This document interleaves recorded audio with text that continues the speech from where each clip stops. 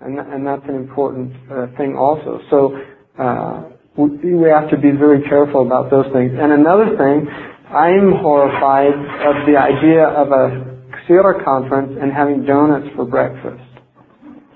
And what I tend to like to do, and I'm not, I'm really serious about this, what I tend to like to do is I like to see when I want to do something, and, and one of the greatest criterion that I've ever seen for anything came from Imam Malik anhu when he was asked about chess, shatranj.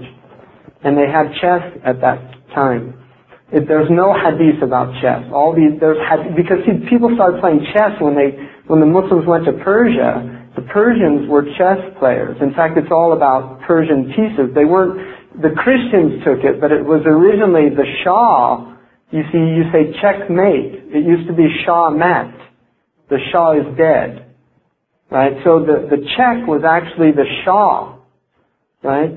And, and so it was originally the Persians. In fact, uh, according to Emir Abdul Qadir in a book I read, although some people say chess is originally from India, um, in his book, he says that it was a Persian scholar that actually invented chess.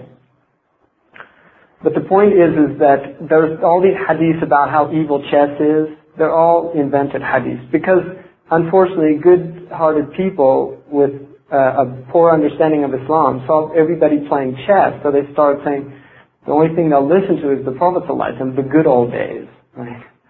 When people actually did take heed to the hadith. And so they started inventing all these hadiths about whoever plays chess at night, you know, wakes up cursed and whatever they are. But Imam Malik was asked about chess and he said, Amin al-haqqi huwa? Is it from haqq?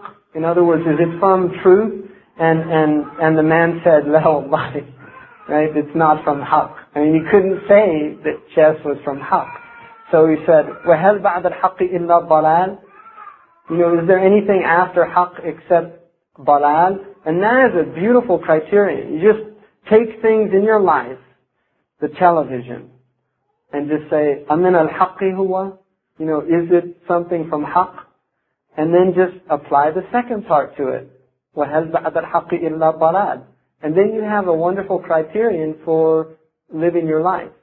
Which doesn't mean, Qadi Iyad, for instance, said that if you play chess, um, to to develop the mind for strategy and things like that, and don't waste your time. In other words, don't like some people play computer games for hours, right? And um, I deleted them off my computer because I don't even want the temptation. That's how weak I am. But um, then you're in another, you have another problem. So he said, for instance, if you play it and the time of prayer goes past and you ignore it, then then you have a problem.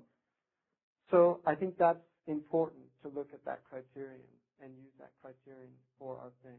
So that's my few remarks.